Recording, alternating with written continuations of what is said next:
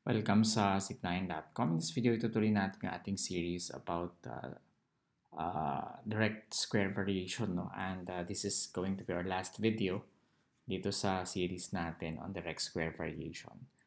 Uh, dito sa video na to, i-examine natin yung graph ng uh, direct square variation and uh, i-relate natin din siya doon sa napag-aralan natin from the previous videos yung ating direct linear variation. So, just recall, pag sinabi natin y uh, varies directly, no? Directly as x, then we can write this equation as uh, y equals kx, no? So, ito, tong part na to, ang tawag natin dyan ay direct linear variation. No? Direct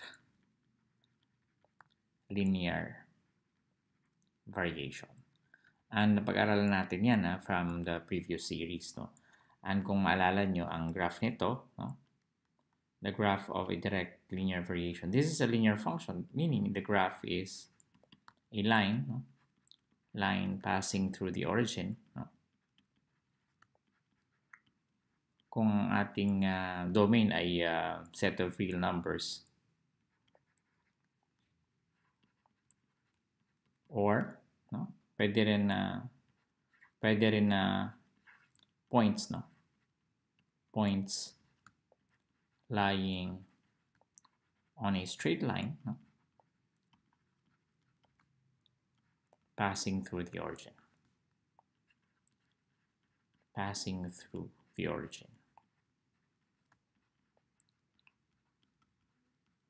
Kung gusto niyo panoorin, panoorin yung last video ng ating uh, series on direct uh, linear variation and makikita niyo yung uh, ating elaboration dito. No? Uh, ang sabi natin dito ay points siya if the domain is the set of integers. No? Uh, halimbawa, number of the number of uh, pants sold. No? Uh, the cost of the number or the cost is uh, directly varies directly as the number of pants sold. No? So makikita natin yung number of pants is uh, integers siya, na positive integers. Wala ka namang 1.5 pants, di ba? It's either 1, 2, 3, 4, 5, and so on. No? Wala ka ring negative. So, points siya, yung kanyang graph. And, pag sinabi naman natin na y y varies directly, no? Directly as the square of x. Then, um, ang equation naman natin doon ay y equals kx squared, no? And I think obviously this is a quadratic uh, equation, no? Meaning, uh, ang graph natin dyan ay hindi straight line. Uh, the graph is actually a curve. Graph is a parabola, no? Parabola passing through the origin. Passing through the origin. Passing through the origin kasi pag 0 yung x mo, yung y mo 0 din, di ba? So, 0 times k. If uh, if x equals 0, then y equals 0. So, automatic. Nagpa-pass through siya sa 0, 0 or nagpa-pass through sa origin, whatever the value of k here. No?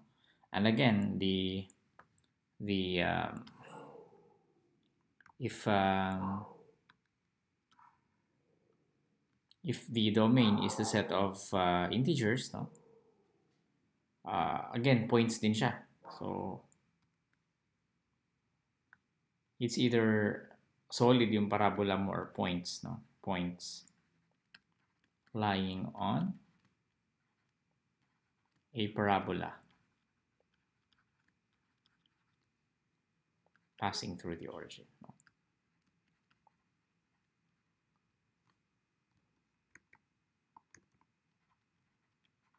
the origin. Okay, so if you want, uh, pwede nating tignan no, sa graphing software, sa GeoGebra. Kung ano ba itsura nung uh, y equals kx squared, no? So, magkikay tayo ng value ng k, maybe 1. And then, i-graph natin yung y equals kx squared. Okay. And gawa tayo ng slider para pwede nating baguhin yung value ng k. Okay, so Pag nabago natin yung k, yan. So, parabola siya passing through the origin, kahit ano man yung value ng k mo. No? So, ang pag ang value ng k mo ay 2, for example, if the constant of variation is 2, then ito yung, yung graph natin. No? If the constant of variation is uh, 3, then that's our graph. If the constant of variation is negative 1, uh, ito yun, no? Um, maraming books hindi naka-include yung negative as constant of variation pero uh, nag-try ako mag-search, no? Uh, many books ang nagsasabi naman na pwede naman na negative yung ating constant of variation. Okay, so that's it. So, yung pagkakaiba nila sa ang pagkakaiba ng constant uh, ang pagkakaiba ng graph nila yung uh, direct linear variation is a straight line and yung direct uh, square variation ay parabola. No?